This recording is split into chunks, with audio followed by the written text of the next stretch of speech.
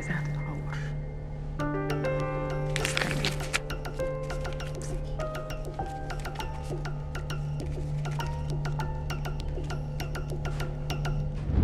عايزة وشها شوارع. يلا دي.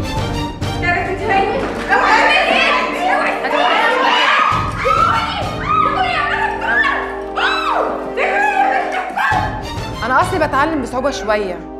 مخ تخين. غبية. معلش. ما بفهمش الناس بسرعة. بس يوم ما بفهم ببقى واحدة تانية خالص. وبما إن الفلوس صوتها عالي فمن هنا ورايح يا نجوى. مفيش صوت هيعلى عن صوتي. وضبوها.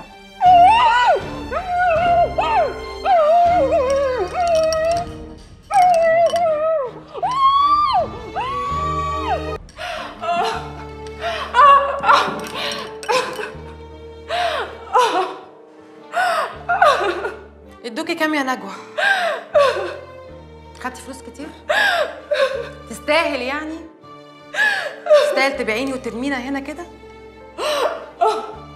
ولا تكونيش عملتي اللي عملتيه ده زكة عن نفسك؟ آه يا بنت تكوني حبيتي المعدية بس هو بيني وبينك يتحب. جيبوا عمران. وزي ما انتي قلتي شغلانتك دي شغلانة مزاج. زي شرب القهوة بالظبط. وانتي مزاجك عالي قوي. صوتي يا نجم عيطي. آه تفتكري حد هيعبرك ولا يسمع حتى صوتك ويجي ينقذك؟ حرام العسكري اللي واقف بره ده طلع ظروفه صعبة قوي. زينا كده بالظبط.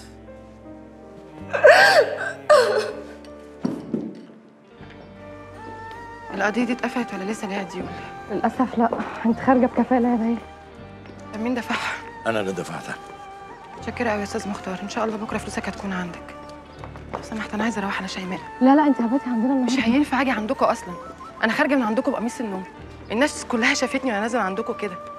كفاية فضايح قوي لحد كده. طب يلا بس نتغدى الأول وبعدين نتكلم في الحكاية دي. أستاذ مختار بجد أنا بشكرك على كل حاجة عملتها معايا. أنا مش عارفة أرد لك جمالك دي إزاي. ولا هتردي ولا تعملي أي حاجة. أنا عارف إيه اللي في دماغك. بص يا بنتي.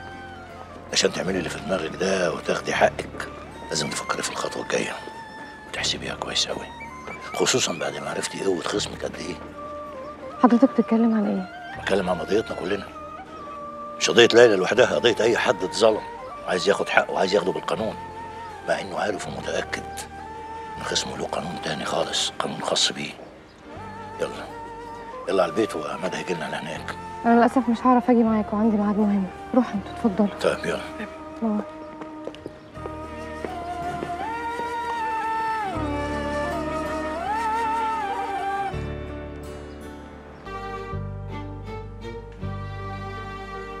طب بعد اذنكم خمس دقايق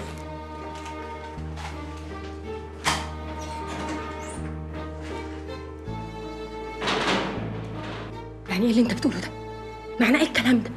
يعني هي تخرج وأنا افضل مرمية هنا، امال إحنا كنا بنعمل ده كله ليه؟ اهدي بس يا نوكا مش كده؟ ما ينفعش حد فينا يظهر معاكي.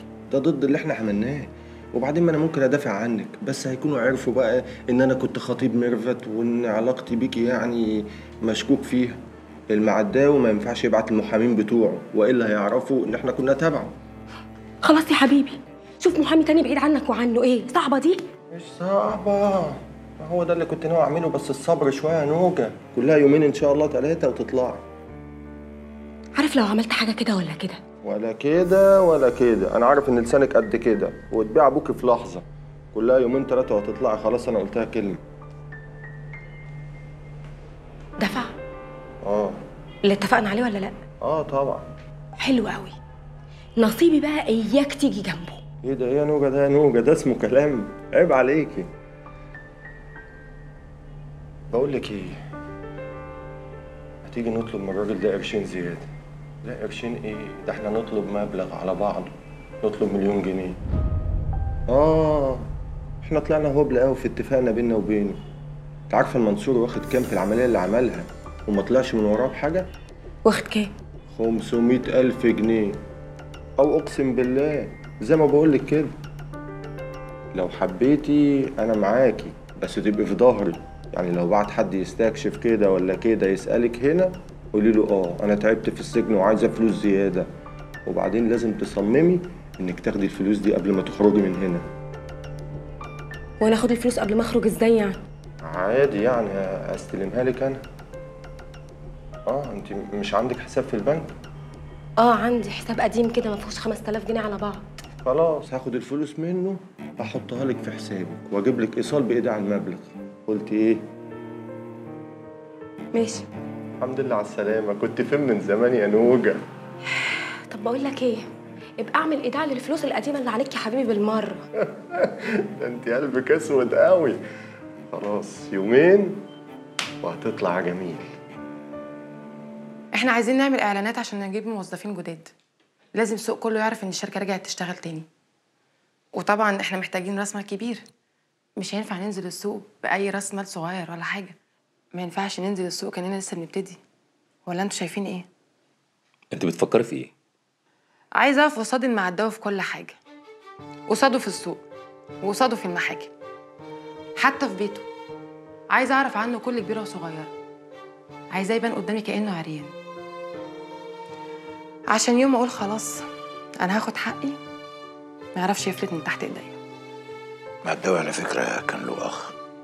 بس كان راجل محترم أوي. أنا قابلته أكتر من مرة. السوق أنتوا عارفين السوق بتاعنا سوق صغير. الشركات والمكاتب اللي بتتنافس قليلة. أنا كنت من أهم المكاتب اللي بتشتغل في المجال ده. أخو المعداوي ده جالي مرة. اتقابلنا مع بعض. أول لقاء بينا وبين بعض حصل فيه تصادم. بعد كده الراجل جالي أكتر من مرة ولقيته ألطف من الأول.